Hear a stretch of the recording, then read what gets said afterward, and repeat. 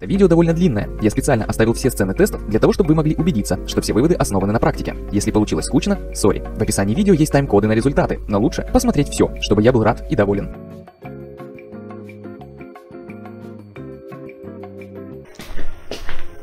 Привет, меня зовут Евгений Ивакин, это канал Заметки Ивакина, и здесь мы разбираемся со сложными, а иногда и очень сложными вещами, посвященными видео и киноиндустрии. Это видео целиком один большой эксперимент. Я сейчас начал запись этого видео, и я не знаю, чем это видео закончится, поэтому, скорее всего, на превью или в названии видео вы уже можете увидеть результат или как минимум догадаться, о чем будет идти речь. Я же все-таки расскажу. И начнем мы с того, что мы сейчас находимся в рентале Kine Motor. Они нам предоставили площадку, предоставили оборудование, и это оборудование мы сегодня будем проверять.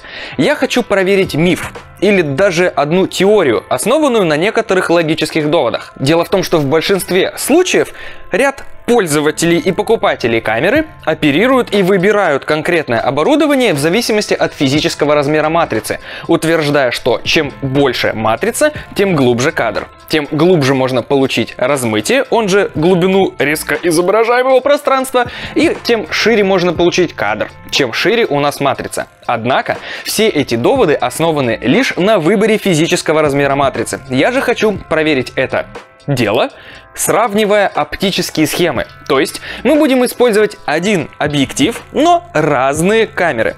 У нас в целом условия одни и те же, и посмотрим, что из этого получится. Я еще не знаю. И еще раз повторюсь, Кинемотор, огромное вам спасибо за то, что дали нам эту камеру с этим объективом. Вон тот вот объектив, э, вот этот стол, вот это окружение, этот цвет. Спасибо вам большое, вы просто лучшие, мы вас очень сильно любим. Обязательно берите оборудование у Кинемотора. Ссылка находится в описании под видео. Вот, сейчас же приступим к тестам. А, да, забыл сказать, важная весть. Мы это видео снимаем на три камеры. У нас есть 4К, у нас есть 6К и у нас есть 8К в аноморфотном соотношении сторон. Поэтому это видео будет странно нарезано, странно смонтировано, странно скадрировано, но очень вкусным и красивым. Все. В чем заключается суть эксперимента? Мы используем одно и то же стекло. Если быть точнее, что у нас за стекло, Толя? Ксин CF 16 миллиметров. Ксин CF 16 миллиметров просто бездумно повторил. И это стекло мы будем менять между 4К покетом и 6К покетом. Объектив этот сделан под байонет EF, соответственно под матрицу Super 35. В случае же с покетом 4К мы будем устанавливать его через Speed Booster от компании Metabones с коэффициентом э, исправления кропа 0.71. По теории на 4К покете мы должны получить изображение чуть шире. Также, за счет того, что у нас есть спидбустер, мы должны получить на один стоп экспозиции светлее кадр. Соответственно, сейчас съемка идет на 4К с этим объективом на диафрагме. Какой, Толя? Около 4. Около 4. Сейчас сделаем тестовый кадр, откроем диафрагму прям на самый верх. Ну, в смысле, совсем откроем на 6К, сделаем этот тестовый кадр вот как он сейчас есть, а потом, не убирая объектив с наших уже рельс, мы поменяем камеру на Pocket 4К со спидбустером и посмотрим, насколько кадр станет а. светлее и б. шире. Погнали менять камеру. Открыл дырку. Открыл дырку. Теперь нужно прикрыть ISO. Да, теперь перекрываем ISO. Диафрагма 2,6, ISO у 6К покета сколько? 800. 800 при нормальной экспозиции. Супер. Теперь меняем на 4К и смотрим, что у нас получится А по экспозиции, Б по ширине кадра. Мы запоминаем сейчас. Давай посмотрим, где у меня край кадра. Вот, моя рука – это край кадра. Не шевели камеру. Кайф. Поставим теперь 4К покет.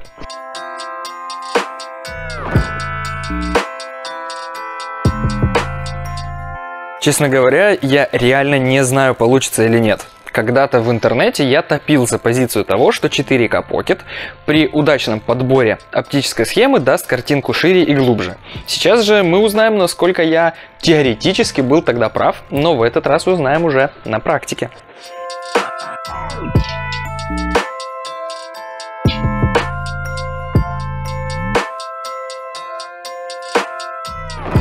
С какой проблемой мы столкнулись? Площадка под 4К Pocket, вот такая вот, она категорически не подходит под ту площадку, на которой был установлен 6К Pocket. И, соответственно, нам сейчас всю эту конструкцию нужно разобрать. для того, чтобы установить 4К.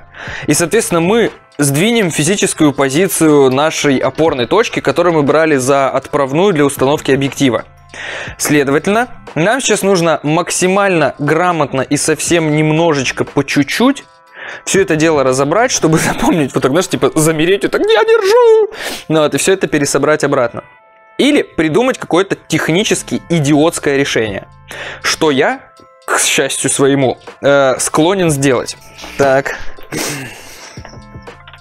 Это у нас э, ограничитель теперь. да, это наша... Вон, смотри. Соответственно, у кого там камера в руках, подойдите, подснимите. Это наш ограничитель. Он у нас ананас. Давай наклоним вперед чуть-чуть. Вот. Мы видим, мы уперлись прям болтиком затяжки э, вот этой подружки вот сюда. Соответственно, здесь мы это все и оставляем. Теперь это надо все филигранно, аккуратно, как э, практически хирургически аккуратно разобрать. Ой, как это все сложно, ребят, технически. Вот вы не представляете, мы настолько заморачиваемся для вас, для зрителей, что вы просто обязаны поставить лайк под это видео, потому что это, ну, не просто все эти ваши научно-технические веселюшечки. Отодвигаемся немножко назад. Стоп. Снимаем стекло. Теперь пододвигаем камеру на площадке вперед. Мы поставили подставку под объектив ровно так же, как она была до этого. То есть объектив у нас будет неизменно в той же позиции, как и был. Фиксируем площадку, фиксируем камеру, все зафиксировали. Соответственно, я демонстративно убираю и теперь ставлю стекло обратно на место. Стекло стоит на том же самом месте. Я сейчас Толе покажу вот это видео, где край моей ладони. По этому видео Толя сейчас скадрирует 4К Pocket. Я сейчас открою правую часть изображения с 6К Pocket. Толя, все готовы? Толя, ты готов? Мгм. Слушай, на один балласт больше здесь. Да, смотри, здесь астеру не видно. В, в, Я вижу, вот первый, второй балласт и э, третий наполовинку, а здесь... в 6К Pocket видно полтора прибора, а в два с половиной. Ты понимаешь, что мы получили изображение шире? Итак, сейчас мы снимаем уже на Pocket 4К, и, естественно, мы проверим ширину нашего кадра. Я отхожу влево, и также, Толя, говори мне, где мне остановить руку. Э, Оп, это у нас левая грань нашего кадра. Теперь пойдем в правую. Посмотрим, насколько шире у нас теперь вот сейчас вы видите side-by-side сравнение. Скорее всего, подо мной 6К Pocket, я нахожусь в 4К Pocket. Соответственно, мы с вами наглядно видим, что при одинаковом объективе, но небольших корректировках оптической схемы, Pocket 4К дает кадр шире. А казалось бы, должен дать 6К. Теперь же проверим тест яркости и тест глубины. Насколько вообще у нас все это сложится. Как мы будем проводить тест освещенности? У нас у ребят в кинемоторе есть замечательный серый blackout, серый blackout. Его мы можем использовать как объект, равномерно освещенный, и, соответственно, мы можем поставить камеру таким образом, чтобы показывать в кадре только непосредственно этот blackout. Соответственно, подогнав настройки выдержки экспозиции диафрагмы, мы сможем сделать так, чтобы яркость этого объекта по площади всего кадра находилась ровно в 50% нашей гистограммы. После чего мы поменяем камеру и посмотрим, какие настройки нужно поставить для того, чтобы попасть в 50%, если настройки объектива не менять. На словах сложно, на практике сейчас будет более доступно, понятно, конкретно в процессе того, что мы делаем. Окей, открываем дырку до 2.6. Это 4К Pocket. Теперь выкручиваем фокус для того, чтобы у нас ни в коем случае не было наше изображение резким. Нам нужно, чтобы наш фон размылся к чертовой матери. Насколько это возможно на данном стекле. Так, не очень. Вот пусть будет так. Соответственно, теперь я включаю False Color. И давай за счет ISO, за счет ISO я буду... Где она? Это ISO? Это ISO. Во. Итого мы имеем при установленном таком свете, при установленной такой яркости и так далее, вот такую яркость сцены. Дырка 2,6. Соответственно, давайте запомним и даже запишем настройки, которые у нас получились. У кого телефон рядом, у меня телефон рядом. То я просто сфоткаю экран. И мы получаем шаттер 180, логично, ISO 1600, при этом дырка 2,6. 25 кадров в секунду, естественно. Экспозицию я уже сфотографировал. И мы сможем точно так же по инструменту False Color на Pocket 6K выставить точно такое же освещение, чтобы получить такой же результат. Теперь просто перекидываем камеру. Итого, что мы имеем? Мы имеем точно так же установленный 6К Pocket. Настройки 25 FPS, шаттер 180, ISO 1600, выкрученный фокус, открытая дырка. Все то же самое, что мы имели на покете 4К, но со спидбустером. Теперь же давайте, прям имея такие же настройки, включим False Color и посмотрим, какое изображение у нас будет у 6К. Вот что мы имеем. Для тех, кто не понимает, покажу. Я включаю переключение ISO и начинаю ISO поднимать. И вот здесь я получаю такую же освещенность, как у 4К Pocket. Я поднял с 1600 до 2000. Это явно заметно, хотя на самом деле что-то мне подсказывает, что ближе к вот такому мы должны прийти. Ну то есть где-то между 1600 нам нужно 2 2500, 2200. Соответственно, для того, чтобы получить светлый кадр, нам выгоднее использовать 4К Pocket. За счет спидбустера мы повышаем экспозицию. Еще один плюс в копилку 4К Pocket. Он дает кадр светлее и шире.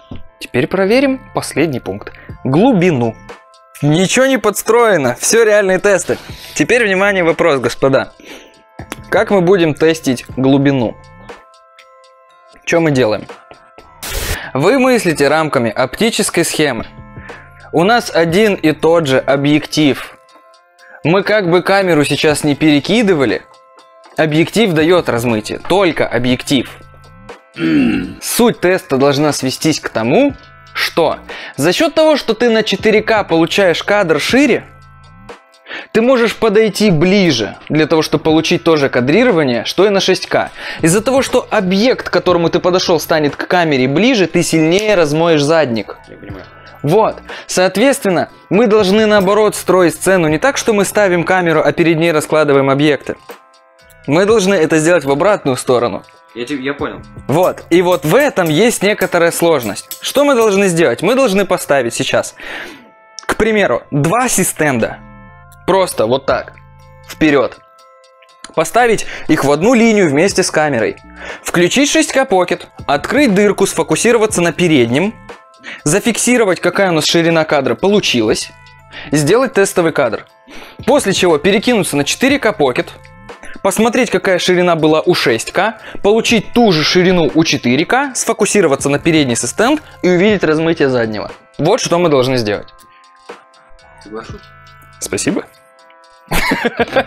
Кадр, блядь, из сериала. Как мы проводим тест? У нас есть две основных стойки. Мы их установили на третьей и по ним будем ориентироваться, насколько задняя стойка будет размываться. Двумя другими стойками мы очертим ширину нашего кадра. Толя, насколько вправо мне еще двигать эту стойку, чтобы я обозначил правую часть кадра? Двигаю. Ну, да, да. Окей, другой стойкой мы обозначим правый край кадра. Для того, чтобы мы смогли, потом поставив 4К Pocket, попасть в ту же самую ширину кадра. Так, пошла эта стоечка. Да? Отлично. Итого, что мы имеем? Обозначенная левая и правая сторона кадра и наш с вами тестовый э, экспонат для проверки глубины. Сейчас у нас на покете открыта максимальная дырка, и мы переводим фокус на переднюю стойку. Вот, у нас проявилась даже текстура тейпа. Соответственно, у нас есть кадр, и мы видим, насколько у нас размылся задник. Это на 6К покете. Теперь ставим на все это место, вот вместо вот этого вот места, вот эту штуку, Ставим то же самое стекло, также выставляем камеру, чтобы получить то же самое кадрирование, и по третям выставляем стойки, выкручиваем фокус на первую стойку, смотрим, насколько сильно размоется задняя. Все, отлично, у нас есть мыльный кусочек.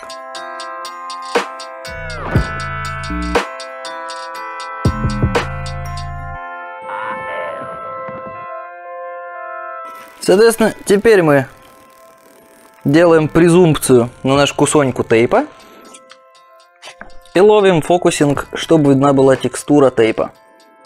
Вот. Вот такую глубину кадра мы получаем на 6К покете.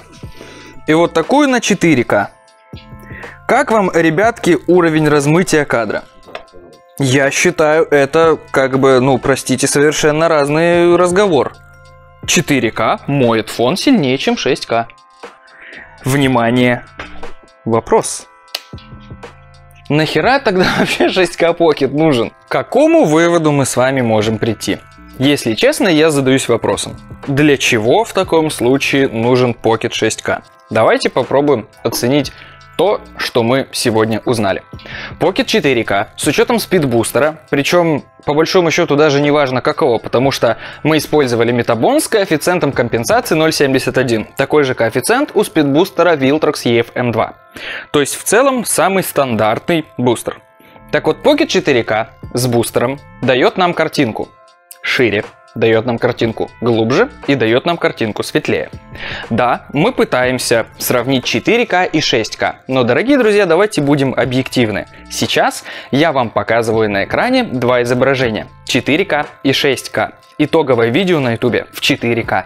Вы не отличите изображение 4К и 6К, к сожалению. Так вот, получается, нужны ли нам 6К? Если оценивать стоимости камер сейчас на рынке, то 4К Pocket можно купить за... Толик, сколько ты смотрел? 125. Новый. 4К Pocket новый на рынке стоит 125 тысяч рублей в то время как 6К Pocket стоит почти 200 тысяч рублей. Мы получаем разницу минимум в 70 тысяч с учетом всяких за и против. За эти 70 тысяч можно купить как минимум Metabones, то есть дорогой и очень качественный спидбустер, или купить дешевый Viltrox и сэкономить целый полтинник.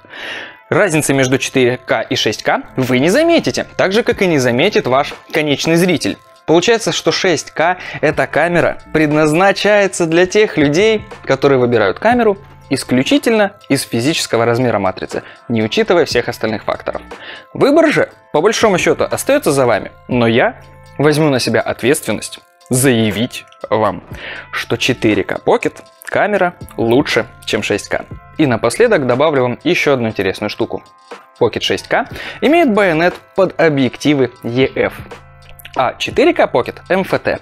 Проблема в том, что под EF нету аноморфотной оптики, поэтому 4К Pocket можно назвать по-настоящему синема камерой. Мы можем получить широкий аноморфотный кадр с хорошим разрешением, с хорошим битрейтом, в RAW, все как положено. На этом все. Всем спасибо. Спасибо вам, дорогая моя съемочная группа. Огромное спасибо компании Kinemotor за то, что пустили нас к себе в гости и пустят нас, я надеюсь, еще не раз. Спасибо им за то, что они дали нам это оборудование для того, чтобы мы могли провести объективные тесты и показать что это никому не нужно. Меня зовут Евгений Вакин. Не забудьте подписаться на этот канал, поставить лайк этому видео, оставить комментарий, что вы по этому поводу думаете, а также погулять по ссылкам, которые находятся в описании, на все подписаться, все пролайкать, все прокомментировать. Всем спасибо и Увидимся в следующих видео. А я сейчас запрокину подбородок и буду стоять, как на предыдущих видосах, бля. Все.